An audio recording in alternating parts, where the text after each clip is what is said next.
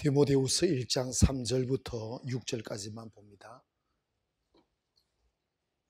디모데후서 1장 3절부터 6절까지만 함께 읽겠습니다. 화면 보시면 됩니다. 시작. 내가 밤낮 간구하는 가운데 쉬지 않고 너를 생각하여 청결한 양심으로 조상적부터 섬겨오는 하나님께 감사하고 내 눈물을 생각하여 너 보기를 원함은 내 기쁨이 가득하게 하리 함이니 이는 내 속에 거짓이 없는 믿음이 있는을 생각하며 이 믿음은 먼저 내 예조모 로이스와 내 어머니 유니게 속에 있더니 내 속에도 있는 줄을 확신하노라. 또한 안수함으로 내 속에 있는 하나님의 은사를 다시 분리다 하게 하기를 위하여 너를 생각하게 하노니 아멘. 하나님이 우리에게서 찾으시고 우리가 갖기를 원하는 것 딱 하나예요. 그게 뭐냐면 거짓 없는 믿음이에요. 무슨 믿음? 믿음을 여러 수식어로 이야기할 수 있어요. 작은 믿음, 큰 믿음, 헛된 믿음, 진실한 믿음, 거짓 믿음, 뭐, 뭐 여러 표현할 수 있지만 바울이 디모데를 향하여 내가 너를 보면 너무 기쁘다. 너무 대견하다. 왜냐하면 보통 사람에게는 없는 것이 내게 있다. 도대체 그게 뭘까? 그건 바로 네게 거짓 없는 믿음이다. 여러분, 어, 하나님의 일은 점진적이지 않아요. 조금씩 조금씩 자라나면, 아, 자라나는가 보다, 또 자라겠거니 하지만, 하나님의 일은 점진적인 것은 내가 눈에 실제적으로 그날 그날 보이는 것이 있으니까 믿을 수 있어요. 근데 하나님이 하시는 일은 점진적인 것이 아니고 도리어 내리막이에요. 도리어 더 큰 어둠이에요. 이해 가십니까? 오늘 지숙 씨라는 분이 있어요. 얼마 안 된 분이에요. 근데 정말 주님 사랑하게 됐어요. 남편이 둘 다 교회를 안 다녔다가 이제 나와서 너무 좋아하니까 남편이 시기가 생기는 거야. 왜 나안 좋아하고 교회를 좋아하지? 목사가 잘생겼나? 이런 생각까지 할 수 있는 가능성이 있을 수 있다고 말할 수 있지만 어, 그런데 막 짜증 오늘 내가 잠시 만났는데 목사님 왜 우리 남편이 더 세지죠? 세지는 게 정상이다 와 올라서 정점이 올라가 캣고 끊어지는 거예요 근데 우리가 막 점점 악화되거나 내리막을 걸을 때면 낙심하는 거예요. 그건 거짓 믿음이에요. 믿음은 뭐냐? 내 눈으로 볼 때 현상이 점점 악화되고 실은 가능성이 점점 멀어지고 75대도 너무 너무 멀었는데 점점 95세 뭐 99세까지 뭐 가서 점점 아이 낳을 가능성이 희박해져 가도 현실은 전혀 점점 불안, 불, 어, 불가능으로 치닫아도 하나님이 하실 거야. 그건 하나님을 신뢰하는 사람만이 가질 수 있는 확신이에요. 그게 거짓 없는 믿음이에요. 그래서 현상을 보면서 마음이 바뀌거나 하지 아니하고 현실이 어두워도 절망하지 아니하고 실현 불가능한 것으로 막 몰려가도 내가 꾸었던 꿈을 포기하지 않고 언젠가 하나님이 하시면 이루어질 거야. 그곳에 내 마음을 딱 고정하는 마음. 믿습니까? 핵가닥 제가닥은 믿음이 아닙니다. 여러분 야고보서 1장의 말씀 기억하십니까? 오직 믿음으로 오직 믿음으로 구하고 뭐라고요? 오직 믿음으로 구하고 조금도 의심하지 마라. 찾아보죠. 야고보서 1장 5절이야? 4절이네? 아니 아니 아니야. 6절? 어, 6절. 아니, 그걸 내가 말했는데도 그것도 못 찾고 있어. 시작. 자, 스톱. 주님이 요구하는 게 뭐예요? 구해, 구할 때 주님 주시, 주세요. 뭐 안 주시면 어쩔 수 없고 이게 아니라는 거야. 오직 믿음으로 구하고. 된다! 이거요. 따라서 무조건 된다. 이루어진다. 아멘.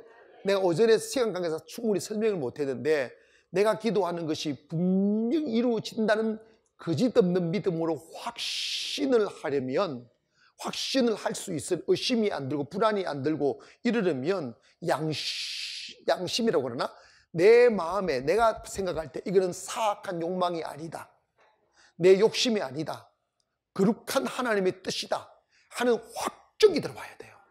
그래야 믿을 수가 있어요. 아멘 돈 주세요. 뭐 할 건데 사업한데 뭐 할 건데 사업에서 돈 벌면 뭐 할 건데 하면 그 다음에 뭐가 문제야. 그 다음이 이상한 짓을 하면 안 돼. 아 목사님 비행기 잣대 제 비행기 대가 세계를 날아다니면 놀러 다니랍니다. 뭐 자기 영심이 알아. 무슨 뜻이냐? 자기 양심이 알아. 사악한 거라고. 아름다운 꿈을 꾸는 게 맑은 꿈을 꾸는 게 깨끗한 꿈을 꾸는 게 중요합니다. 맑고 아름다운 꿈을 꾼 사람은 그걸 이루어도 교만하지 않는 것이 특징입니다. 그러나 맑고 아름답지 못한 꿈들은 조금 이루어질 듯만 해도 교만해가지고 목을 들어요. 그리고 한 방에 딱 쳐가는 거예요. 사람들 보면요. 될 듯 하면 캑고, 될 듯 하면 캑고, 다 거기 걸려드는 거예요. 다 거기 걸려드는 거예요.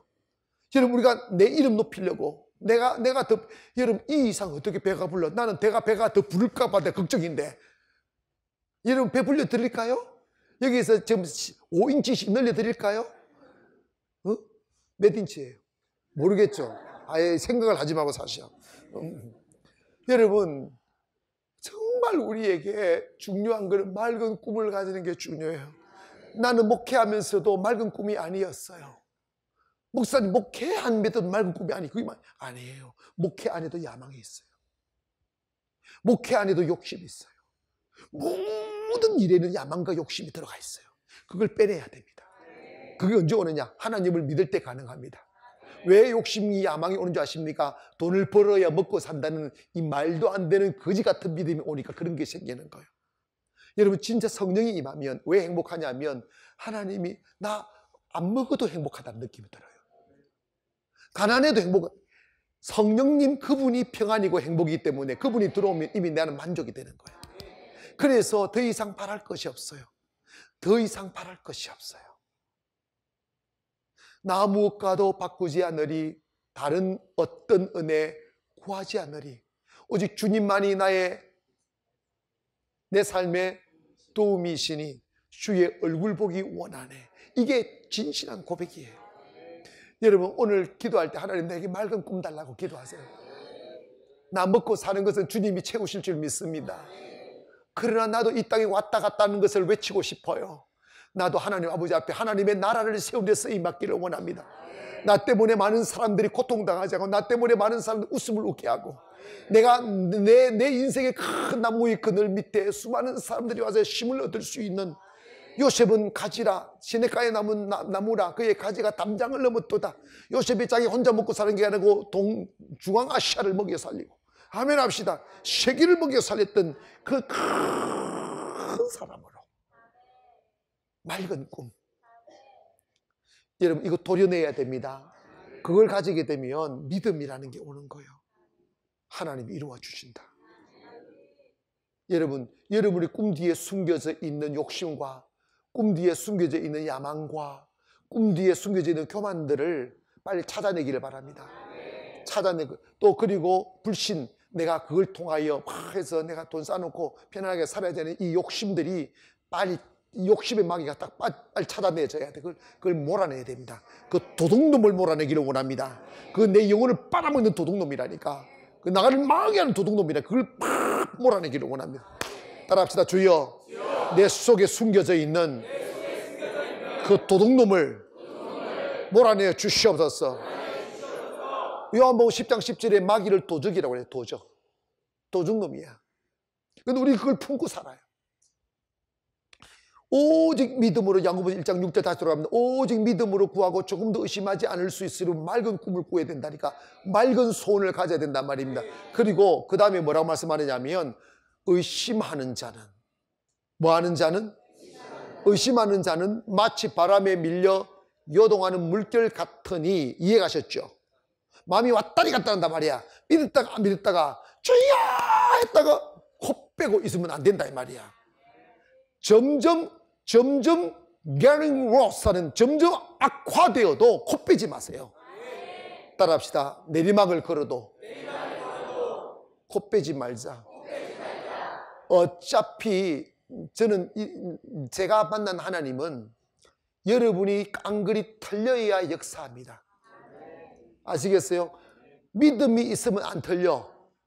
믿음 이후에 온 것은 틀리지 않아. 아시겠어요? 목사님 맨날 틀리고 살고 뭐 어떻게 삽니까? 그러고 의심하면 안 돼. 걱정하지 마요.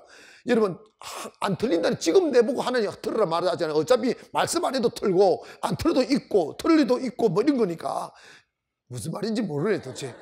여러분 여러분이 믿음으로 쌓아놓지 못한 것들은 결국은 바닥이 나야 새로운 출발이 옵니다. 그런데 두 가지야. 고생 고생하면 인색하고 교만하고 욕심 부리면서 하나님한테 이러한 재난, 저러한 고통에서 다 뺏기고 날리고 빈손 들고 오는 형 하나가 있고 딱 알았어. 딱 알아서 어차피 바닥 가는 건 나 스스로 바닥을 치는 사람. 그 뭐냐면 쌈짓돈 끄집어 내가 주님께 바쳐버리고 나 이제 다시 시작한다. 아시겠어요? 여러분 이거 놀라운 기적이 있어요. 주님은 언제나 저, 저 뭔가 시작할 때부터 뭔가 새로운 일을 시작하면 항상 바닥에서 시작하라고 그래요. 항상 바닥에. 그런데 하나님이 역사해요. 이루어질 줄 믿습니다. 이거 의심하지 말아야 돼요. 돈이 없는데 어떡하나, 사람이 없는데 어떡하나. 여러분 보세요. 내가 가진 돈 가지고 하나님이 일이 아니라니까. 우리의 교만이 바로 이런 거예요. 하나님 내가 돈 벌어서 주의 일 할게요. 그러면 주의 일이 아닙니다. 그건 자기 의입니다. 자기 자랑입니다. 그날은 오지 않아요. 제가 목회하면서 그런 그 날이 오는 불상사는 없었습니다. 아시겠어요? 목사가 목사가 거기 걸려들면 안 돼요. 주여 내가 돈 벌어서 주의라 목사님 기도해 축복해 주셨어요. 목사님 목사님. 또 그런 사람은 저 또 목사한테 얼마나 잘 오는지 몰라. 와가지고 내 손을 덥석 잡아 이렇게. 그래서 목사님 저 기도 축복 기도해 주세요. 막좀또 손도 또 살도 안 잡아. 와 것 같아. 버퍼, 트럼퍼, 트럼퍼, 트럼퍼? 맞아? 트럼퍼. 아이, 그것까지 뭐 사, 이거 세다고 힘이 있나? 웃기고 있네. 아이고, 그거 씨름하고서 나는 더 세게 잡을 수 있어. 근데, 근데 이런 봐보십시다. 아, 예. 근데 속에 욕심과 야망이 있는 거, 이거. 하나님 응답하지 않아요. 잘 들었어요. 내가 돈 벌어서 하나님 일 하려고 하는 사람은 믿지 마세요. 그 사람은 이미 막이에요. 이미 막이에요. 하나님은 하나님의 일은 하나님이 하십니다. 나의 역할, 우리의 역할이 뭐예요? 하나님이 크신 일을 하는데 우리 역할이 뭔가 믿음을 담아드리는 거예요. 믿어드리는 것. Yes. 주님이 하실 수 있어요. Yes. 하나님이 하실 수 있어요. 그래서 점점 똑같아요. 아브라함이 점점 나이를 먹으면 아이를 낳을 수 있는 것부터 멀어지잖아요. 그런데 언제 하는 역사 하시느냐? 자기 몸의 죽음과 사라의 태의 죽음을 바라보고도 믿음이 약하여지지 않을 때. 아시겠어요? 믿음이 약하여지지 않을 때. 그것을 의로 여기셨다. 여러분, 하나님이 언제까지 기다리냐? 여러분, 온 마음 담아 믿음을 보일 때 하나님이 역사합니다. 그래서 언제 믿음이 내가 아무것도 없을 때 믿음이 생기는 거예요. 아니 아무것도 없어야 믿음을 선택하는 거예요. 왜냐하면 여러분 우리가 호주머니에 돈이 있으면 절대 믿음을 선택하지 않고 돈 가지고 해결하려고 합니다. 이거는요, 이거는요 어쩔 수가 없어요. 어쩔 수가 없어요. 따라합시다. 하나님은 크게 합시다. 하나님은 믿음만을 쓰신다. 다시 한번 시작. 한 번만 더 시작. 자, 그러면 믿음을 쓰시는 그 가치에 준하여 생각해 본다면 깡그리 틀렸을 때가 가까워 왔습니까? 돈이 좀 남아있을 때 가까워 왔습니까? 그 깡그리 틀려야 행복한데 왜 깡그리 틀리는 두려워하느냐고. 무슨 뜻인지 이해가 안 가네. 지금 막 갈등을 안 해. 하나님 제발 저 목사님의 설교가 나한테는 임하지 않게 도와주시옵소서. 나 하나님 앞에서 내가 쓰이고 자식 없 나발이고 필요 없으니까 나 좀 내 호주머니 좀 털지 마시고 나 툭툭하게 좀 살고 싶습니다. 그 소리 그 마음을 가진 자는 믿음이 없는 거야. 털리면 부유가 부유하게 된다니까. 털, 내 것이 내 것은요 개떡이야. 내 내가 번 노력을 번 돈은 개떡이야 개떡. 개라 먹는 개떡. 개떡 재물 떠나가면 하나님께서 사라지지 않는 재물 주신다니까. 나는 그걸 경험해 봤었는데 그걸 너무 잘 알아요. 그래서 여러분 어, 바닥을 치는 것을 경화드립니다. 옆에 분들 뭐 축복, 아, 아, 지시라. 당신 참, 참, 축, 당신 대단한 사람, 바닥을 치셨으니 대단하십니다. 시작. 사람이 바닥을 쳐보고, 바닥을 쳐보고 하나님의 은혜로 올라와야 바닥을 치고 올라와야 겸손이고 바닥을 치고 올라와야 그 재물이 내, 내 것이라 말하지 않지. 바닥을 치지 아니하고 지체주로 올린 사람은요 그 썩은 고기 덩어리라니까. 냄새만 팍 조금 해놓고 내가 딱막 생생내고 막 그런다니까. 지금 우리 교회는 그런 사람이 없어요 그런 사람이 없다니까 여러분 정말이라니까 그래서 아직도 믿음이라는 것을 없는 사람은 바닥을 하나님께서 옷 뺏길 때 이걸 축복으로 여겨야 돼. 내리막을 축복 그리고 내리막을 하나 이렇게 기도해 하나님 어차피 내가 바닥을 쳐야 된다면 조금씩 벼룩의 가를 내 묵자 한꺼번에 가져가라 그래. 아멘 합시다. 한꺼번에 팍 쳐. 아이고 아이고 내가 쳐버리겠다 해가지고 내가 쳐버리는 거야. 무슨 소리 모르네. 하나님이 쌈짓돈, 쌈짓돈 털라 이 말은 뭐냐면 빨리 네 스스로 내리, 내리가라 이 말이에요. 너 스스로, 제가요, 제가 이 40세 딱 되는 때, 40세 될 때부터 주님이 내가 다시 이제 문, 교회 문 닫아버리고 다시 시작하는데 네 이제 니와 나와 함께 일하기를 원하느냐 그러면 네가 돈 믿고 하지 말고 나 믿고 해라 네 돈 있는 거 버리라 그랬어요 그래서 내 바닥을 쳤어요 바닥을 치고 제로 상태로 내려갔어요 난, 난 죽을 줄 알았어요. 근데 가슴은 이런 거예요. 탁 트니까 영혼은 자유야. 왜냐? 하나님께서 어떤 은혜를 안 베푸면 하루를 못 살아. 못 먹고 살아. 먹을 것도 없고. 모든 게 스탑, 올스탑이야. 올스탑이야. 너 있는 걸 버리라는 거예요.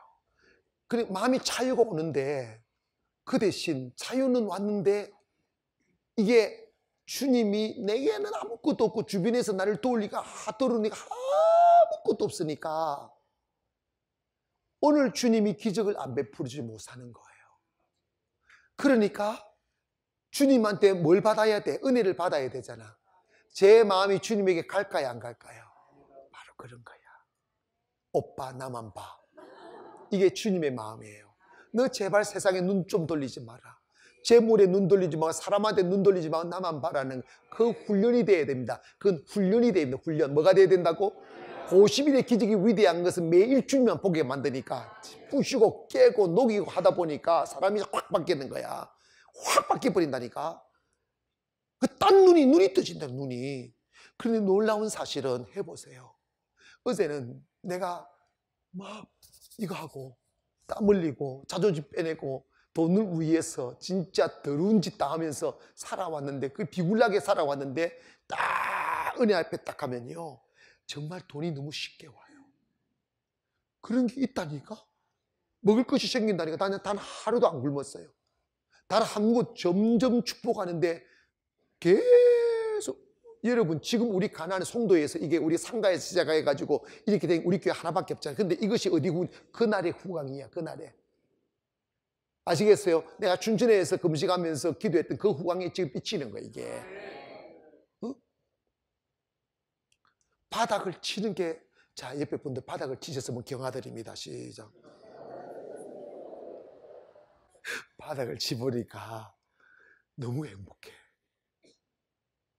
왜 행복하냐면 하나님이 맨날 기적을 베풀어 주셔. 안 굶기신다니까. 배 터지게 전쟁이 일어나면 부부는 굶어 죽고 자식은 배 터져 죽는다잖아. 뭐든지 못 먹어서 그만 먹을 것만 생기면 애기 이막 집어넣는 거예요. 하나님이 딱 받아 치르면 계속 미겨. 계속 미기고 아니 채워주고 채워주고. 제가 안 망했잖아요. 아멘 합시다. 안 망했잖아. 바닥을 쳐야 된다니까. 아니 구태여 일부러 칠 건 없어. 아, 바닥을 쳐야 축복이다. 그건 그런 건 진리는 아니야. 뭐냐면 믿음을 가지라 이 말이야. 돈 믿지 말고 날 믿으라는 거지. 세상 믿지 말고 날 믿으라. 나를 한번 믿어 봐달라는 거예요. 그래서 오직 믿음으로 구하고 조금 더 의심하자. 의심하는 자는 마치 바람에 미디 요동하는 물길 같으니 그 다음에 7절 읽어보세요. 야고보서 야고 1장 7 시작. 이런 사람은 응답받을 뭐라고 그랬지? 어이, 너무 빨리 간다. 이, 이런 사람은 무엇이든지 죽게 얻기를 뭐 하지 마라? 생각하지 말라. 왜? 그 다음에 두 마음을 품어 모든 일에 뭐함이 없다? 자, 자, 또 우리 고백합시다. 저도 나는 두 마음이 아니라 세 마음이 있어야 하는 손 들어봐. 손 다 들어야 돼, 이거는. 두 마음이 세 마음이라니까, 완전히. 그렇죠. 설교 들을 때는 아멘 했는데 문만 열면 딴 생각 들어, 이게. 어? 주여, 믿습니다. 이런데 현실을 가보면요. 머리가 하얘져요. 너무 달라. 믿음의 세계와 현실은 너무 다르다니까. 그러니까 타협하는 거야. 거짓이 없는 믿음이란 뭐냐면 내가 기도할 때 의뢰받을 때 생각했던 그 생각을 철벽 같은 현실 속에 가도 흔들리지 않고 이 차가운 현실에 따뜻하게 될 줄, 이 구질구질한 현실이 아름답게 바뀔 줄, 절망으로 뒤덮여있는 어둠의 현실에 아름다운 빛이 비친 현실로 바뀔 걸 마음을 청해버리는 거지. 흔들리 그렇게 바로 믿음으로 보는다는 게 의미가 그런 거라 이 말이에요. 믿습니까? 여러분 지금 오늘 예배 드리고 여러분 집에 가면 집 어, 오늘 그대로지만 언젠가는 내가 그랬잖아. 50일 기직할 때 찰나찰나에 떠오르는 생각과 현상에 너무 집착하지 마라. 그거 별로 의미 없어요. 지나놓고 나면 어느새 나도 모르게 내가 가고 싶은 그곳에 갇히는 거예요. 얘가 조금씩 가지지 않아요. 내리막을 걷다가 갑자기 올려버립니다. 눈 뜨고 있으니까 그 자리에 가 있는다니까. 참 이게 신기한 일이에요. 이런 믿음이 딱 거짓없는 믿음이 딱 들어오면 점점 점점 내리막을 그래도 불안하지. 예전 같으면 그냥 숨이 젖고 야단일 텐데 불안하지 않아요. 아, 하나님이 갈 대로 가는가 보다. 그리고 일상을 잘 할 수 있게 돼 있어요. 그 안에도 감사가 있고요. 그 안에도 기쁨이 있어요. 그런데 놀라운 것은 나 죽었구나 하고 그래 주님의 뜻이면 죽지 라고 그날 밤을 지냈는데 다음날 아침 되면 전혀 새로운 세계가 열려요 하나님이 열어주는 나의 마지막의 시간이 오니까 이제 내 열정, 내 교만, 내 욕심으로 걸어왔던 그 역사가 딱 스탑, 크로스가 되는 거예요. 딱 중단되고 이제 주님이 새 일을 일해 계신 새 길을 여셔요. 누구에게? 믿음이 준비된 사람에게. 믿음이 준비된 사람에게. 믿음이 뭐냐? 거짓없는 믿음이 뭐냐? 하나부터 백까지까지 하나님을 의지하는 거예요. 하나님이 제일 싫어한 게 뭐예요? 내가 나를 책임질 했던 거예요. 내가 나를 내 가정을 책임질 했던 거예요. 그게 하나님이 제일 싫어하는 겁니다. 하나님은 그걸 싫어해요. 하나님 없는 곳에서 우물을 파는 것. 하나님 없는 곳에서 돈 벌자고 하는 것. 그걸 제일 싫어합니다. 그래서 하나님 문 닫아버리는 거예요. 네 힘으로는 안 되느니라. 네가 나를 떠나서는 아무것도 할 수 없느니라. 네가 번 돈 네 것이 아니야. 그 마귀의 낚싯바늘이에요. 하나님의 것으로 살기를 원합니다. 하나님의 은혜로 살기를 원합니다. 저 멀리 있는 아름다운 성, 내가 무엇으로 그곳에 도달을 다다를까? 여러분 돈을 벌어 그 성에 갈 수 없고 땀을 흘려 그 성에 갈 수 없고 싸워서 그 성에 갈 수 없어요. 그 성에 갈 수 있는 사람은 누구냐? 묵묵히 낮은 자리에서 믿음이란 것을 얻기 위하여 주님과 씨름하는 거예요. 근데 여러분 정말 주님 앞에 주님을 다 믿어버려야 돼. 근데 지질구리게 세상에 뭐가 있으면요 믿음이라는 게 좀 안기가 껴. 이끼가 껴요. 맑은 눈으로 주님을 딱 봐야 돼. 거짓없는 믿음으로 주님이 하셔. 불안하지 않는 믿음으로. 내일망을 그래도 불안하지 않고, 털려도 불안하지 않고, 주님 안에 다 있어. 하는 믿음이 딱 오면 그 믿음을 지킬 수 없을 때 지켜내면 기적이 거예요. 바울은 디모데에게 그걸 본 거예요. 사랑 여러분, 믿음이 능력입니다. 믿음이 축복이고 하나님은 하나님의 일을 하기를 원하는 거예요. 하나님 일은 뭐냐? 우리가 할 수 있는 내 믿음만 보여드리는 거예요. 왜냐? 하나님은 전능하시지만 우리의 믿음의 통로를 통하여 일하기 때문입니다. 우리의 믿음의 통로를 통하여 일하기 때문에 누군가가 나약한 육체이지만 주여 믿습니다 하고 내 몸을 믿음으로 내가 드릴 때 그 믿음의 몸을 통하여 기적을 일으키는 거예요. 결론 내립니다. 여러분 기억하세요. 여러분의 삶이 내리막을 긋고 점점 더 어둠 속으로 빠져들지라도 의심하거나 낙심하거나 두려워하지 마세요. 오늘 여러분 그 슬픔 때문에 주님을 부르고 있고 그 외로움과 그 두려움 때문에 주님을 향하여 눈을 향하고 있다면 그것은 지금 잘 가는 길입니다. 그건 정도로 가는 길입니다. 할렐루야. 그 어둠은 잠시 뒤에 그치고 다시 사라지지 아니할 빛이 비추어져서 여러분의 마음을 밝힐 것이며 그리고 놀라운 것은 과연 내 삶에 이러한 영광이 있을까 했던 그날이 너무 쉽게 와요. 여러분의 노동으로 그곳을 사려면 불가능한 이야기였는데 여러분이 믿음을 지키고 탁 주 앞에 서 있으면 그날이 너무 쉽게 와요. 그래서 그걸 은혜라고 하는 거예요. 왜 쉬우냐? 공짜로 오니까. 뭐로 오니까? 여러분은 하나님의 축복을 돈으로 사는 게 아니에요. 하나님의 축복이 오면 들어가도 나가도 잘 되게 되어져 있어요. 하나님이 잘 되게 하신다 이 말입니다. 그 우리의 우리가 지불한 게 뭐예요? 믿음밖에 없어요. 믿음. 믿음. 그렇다면 믿음이 뭐냐? 간단하게 하나님을 향한 신뢰입니다. 있습니까? 성도가 목사를 신뢰해야 되고 목사가 성도를 신뢰해야 되듯이 하나님을 우리는 신뢰해야 된다. 자, 다시 한번 물어봅시다. 하나님 신뢰하면 금심 염려할 이유가 있어요, 없어요? 근데 여러분 그거 해요, 안 해요? 이제, 이제 하면 되겠어요, 안 되겠어요? 또 초등학교 학생들 가르친다고.